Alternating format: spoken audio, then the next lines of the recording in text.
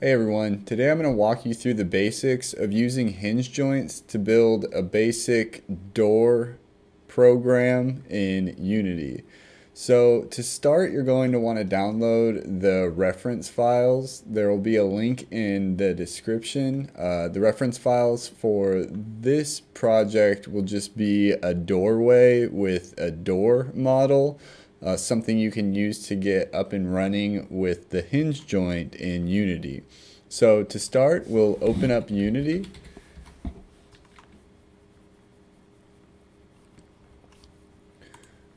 We're going to want to make a new project. We'll call this hinges. Wait for Unity to load.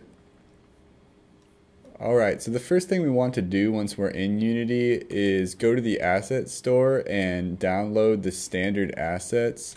We're going to be testing out our hinge joint and our door using Ethan, the basic third person controller prefab.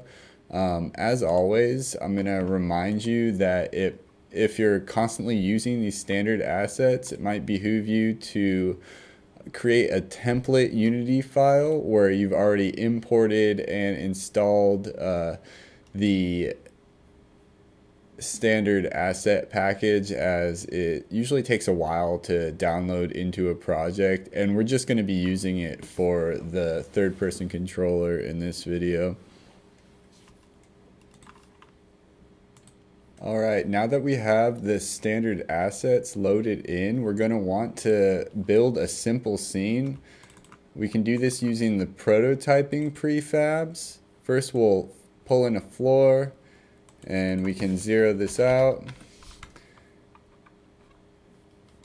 And that seems to be a standard enough scene for us. Just going to close that. Next, we'll want to pull in the downloaded doorway hinge model that, uh, again, the link will be in the description.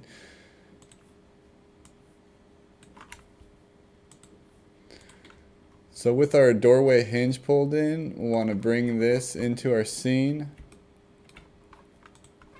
And we can put that wherever we want. Uh, realign our camera to have the doorway in its view. And then we're going to want to pull in our third person character prefab. We can go to the characters file, third person character, prefabs, third person character. Now this uh, third person character starts out a little small so we can set it to 4. And now when we go to press play, we see that our character is moving around and going through the door as expected because there's nothing no no components on our on our doorway are the models yet. So what we're going to want to do is select this cube one uh, model this is the part of the doorway hinge hierarchy that is the actual door model. We can move it around and see it's right there. We're going to want to keep it in its default position. And the next thing we want to do is add a component, a hinge joint. And this hinge joint will automatically add a rigid body to our to our door.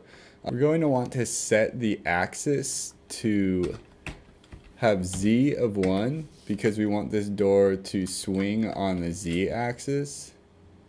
Now when we go to play, you can see that nothing is happening yet. We, we're still walking through this door and that's because we don't yet have a mesh collider for this door. So we're going to want to add a mesh collider to the door. And then also go to the doorway, which is cube within the doorway hinge game object. And we're going to want to set both of these to convex.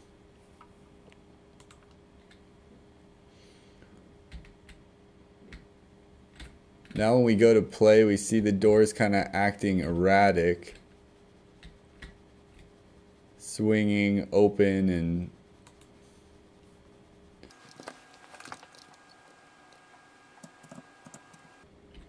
All right. So I guess we don't need the mesh collider on the doorway to be convex. just that uh, the door the door's mesh collider is convex. But one thing we notice is that we're getting kind of uh, erratic motion with this door. And this could be due to uh, various different settings within our hinge joint. We can look at uh, most notably the limits because this is a hinge on a doorway. We want it to act like a hinge on a doorway. So we can take off this mesh collider for the main cube.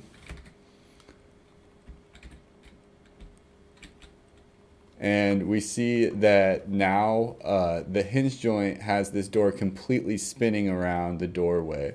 Because we took off the mesh collider for the, the doorway, the door isn't recognizing any sort of constraints or limits uh, pertaining to the hinge joint. So in order to fix this, we can go into the hinge joint and we can select use limits. We're want to make sure that we're out of play, play mode. And then in order to uh, get an understanding of what these limits should be, uh, you have to think of sort of uh, the degree of rotation. So that's 0 through 360. And since these are connected to a fixed joint that is, they're connected to the doorway, we're only going to have uh, 180 degrees of motion. So we'll set this minimum to negative 90 and we'll set this maximum to 90. And now when we go through the door, we're getting uh, the correct sort of feedback from our door.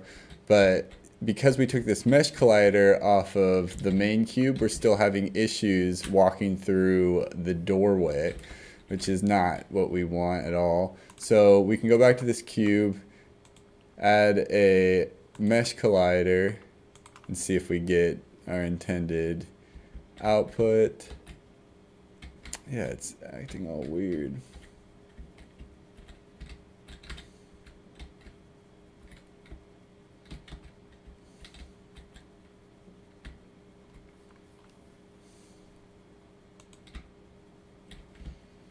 So we don't want that to be convex, but we also don't want to be able to walk through it.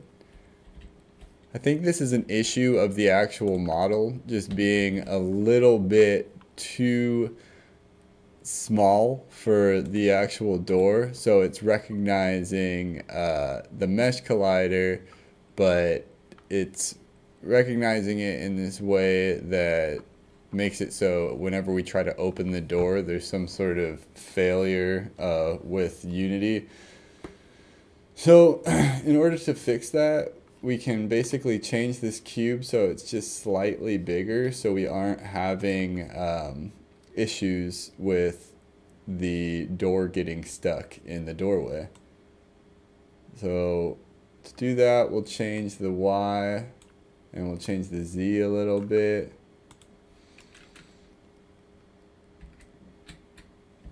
And we'll try walking through our door again. Oh my god.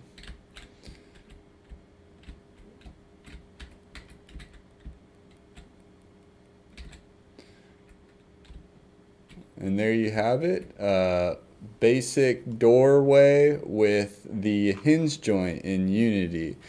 Uh, of course, there's still more fiddling you can do with the, uh, the general settings in the hinge joint, but this is the very basic setup that you'll need uh, to set up your doorway.